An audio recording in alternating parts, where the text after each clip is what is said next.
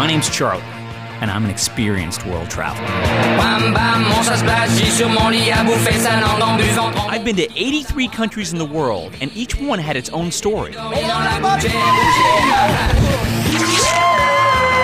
the story with the knife? So when my aunt asked me for help, I wasn't surprised. Your cousin's been gone a month. He dropped out of medical school and he just took off.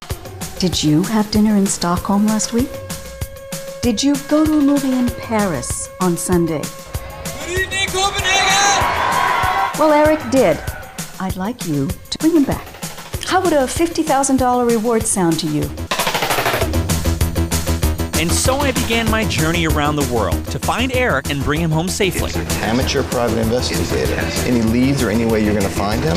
Tell me a little bit about your cousin. Well, his name's Eric, and he's he's missing. He likes to go to places where there's parties and drinking and attractive women. By following his credit card trail, you'd think that finding him would be a piece of cake. You're looking for your cousin. Yes. I'm going to find him. Um, I'm gonna kill him.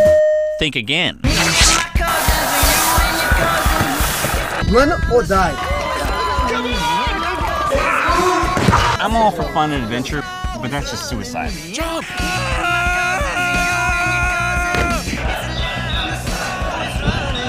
this is not normal. You go straight to jail. Charlie, I'm like you now. I go where I want. I do what I want to do. That's not how I am. I have responsibilities. I have a job. Get in the plane. I want you to guy that way. I've never flown a plane. I don't know how to fly a plane. Just bail out of the bloody stick, will ya? These guys are armed and they're making us follow them. Seriously, what are you gonna do? Are you gonna shoot us? You're gonna make me dig my grave and shoot them? Is this Kalibo? Okay. Wait, is that the only word you know? Okay.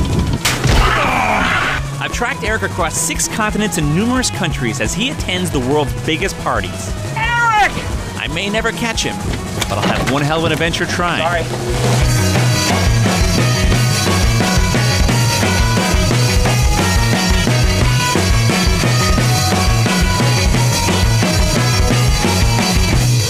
This looks like some kind of joke or something. Check you out. You look funny. It's not. It's not a joke.